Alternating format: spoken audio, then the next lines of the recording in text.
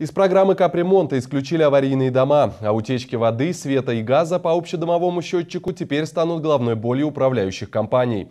Эти и другие поправки в законы Саратовской области приняли депутаты на очередном заседании областной думы. Какие изменения ждут жителей, узнала Юлия Шишкина.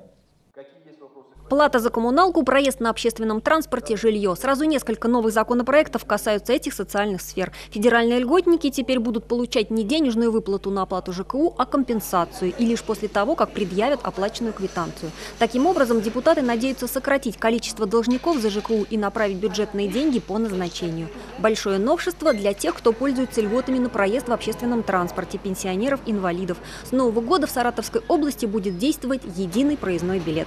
Если раньше за 150 рублей э, льготополучатель э, вынужден был покупать на каждый вид транспорта отдельный проездной билет, то теперь по соответствии с принятым законом э, это единый социальный проездной билет на все три вида транспорта. Это электротранспорт, это автобусные сообщения и пригородное автобусное сообщение. Единый проездной обойдется льготнику в 150 рублей в месяц. Документ рассчитан на 50 поездок. Контролер будет просто отрывать талон на одну поездку в качестве билета. Ожидается праздник на улице саратовских дольщиков, которые годами не могут дождаться своих квартир из-за недобросовестных застройщиков. Саратовские парламентарии взяли на заметку опыт других областей – Самарской, Волгоградской, Кировской, Пензенской, Оренбургской. Может теперь привлекаться инвестор, который будет за достройку данного дома получать бесплатно земельный участок и, соответственно, э, э, компенсировать э, достройку проблемных домов. Таких у нас 24. Мы надеемся, что эта мера позволит значительно сократить список проблемных домов на территории области. Депутаты надеются, что для новых строителей стимулом станет удешевление квадратного метра. Ведь им без конкурса бесплатно предложат стройплощадку с частично проложенными коммуникациями.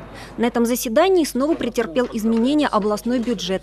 297 миллионов рублей из федеральной казны поступили на развитие малого и среднего предпринимательства. 336 миллионов добавят аграриям. На погашение процентных ставок по кредитам, компенсацию приобретенной техники, поддержку растениеводства и животноводства. Дополнительные финансовые ручейки областной бюджет надеется получить от эвакуаторщиков транспорта.